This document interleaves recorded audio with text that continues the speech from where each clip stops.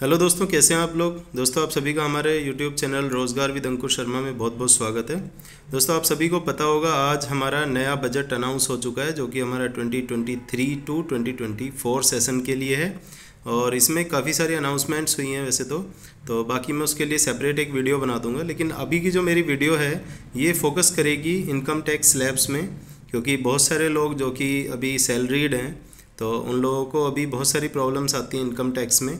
तो वो लोग यहाँ से देख सकते हैं, हमारे चैनल के माध्यम से देख सकते हैं कि किस टैक्स स्लैब में क्या हमारा टैक्स लगने वाला है।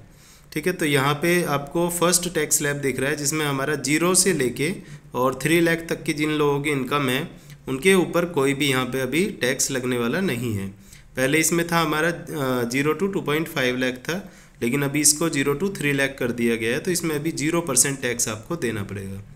सेकेंड नंबर पर हमारा जो है, वो है three lakh to six lakh तो जो लोग हमारे थोड़े से अच्छी इनकम रेंज में आ जाते हैं, ठीक है? जो कि हमारे थ्री लैख से सिक्स लैख के रेंज में है तो उनके ऊपर हमारा अभी फाइव परसेंट का टैक्स लगेगा.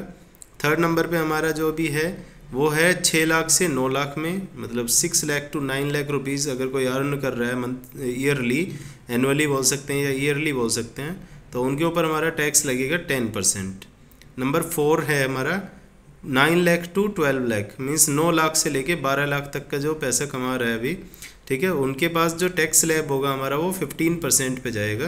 पंद्रह परसेंट आपको अपनी इनकम का गवर्नमेंट को देना पड़ेगा।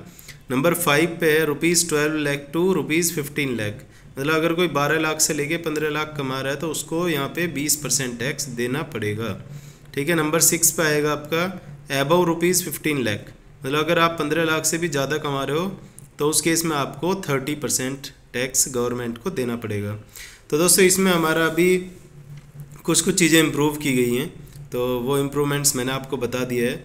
तो बेसिकली बोल सकते हैं कि पंद्रह लाख से ऊपर जो भी लोग हैं, वो लोग तो रॉयल कैटेगरी में आते हैं। मतलब उनकी टैक्स रेंज जो है वो सबसे हाईएस्ट है।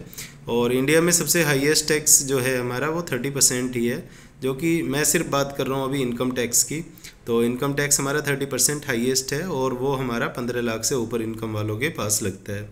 तो दोस्तों, ज़्यादातर जो आईटी में इन्वॉल्व हैं आईटी सेक्टर में तो उन लोगों के लिए बहुत ज़्यादा यूज़फुल है तो इसको स्प्रेड कर दीजिएगा अपने दोस्तों लोगों को और जिन लोगों को भी इसकी टैक्स लेव की ज़रूरत है।